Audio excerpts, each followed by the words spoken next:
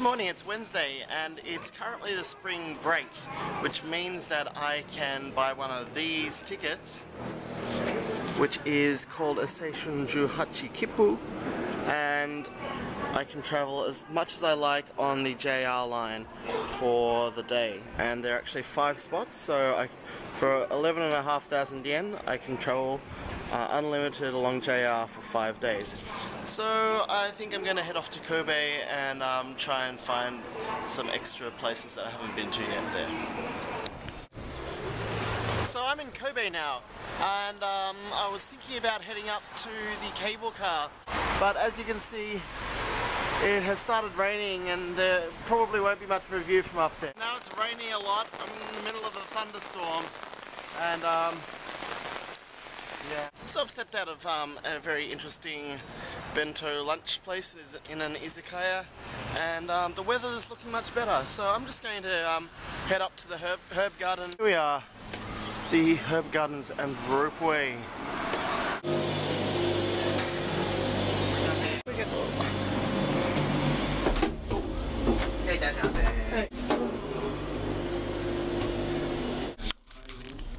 See down to the city of Kobe and Osaka Bay. It is quite rocky in here. A little bit scary. And down there we can see Harbourland with the Maritime Tower. Oh, and the, that Harbourland with the...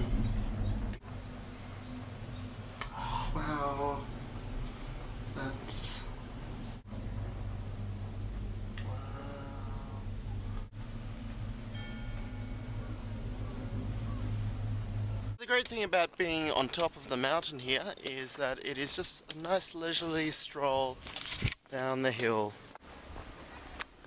And as you can see the plum blossoms are all in bloom and the cherry blossoms aren't too far away.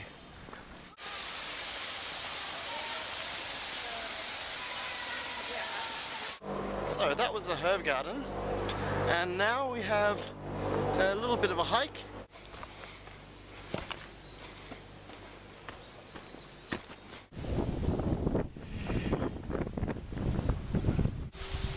Here's the front of it. One thing I love about Japan is you can be out in the middle of nature and there will always be a vending machine.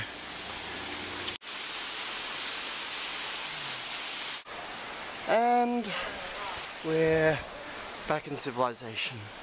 So now I'm at the Hakutsuru Sake Brewing Factory. People processing rice for sake.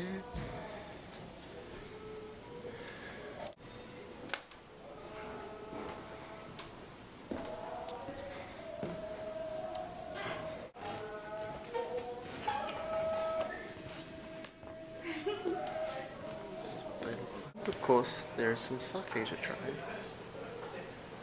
The end of our tour, and we can buy some sake for. So that was fun. I tried um, a couple of sakes, uh, an umeshu and a yuzu shu, and now I'm heading back to the station for our final destination in Kobe. So it's almost time to head back, but I've left the best for last. You'll see it.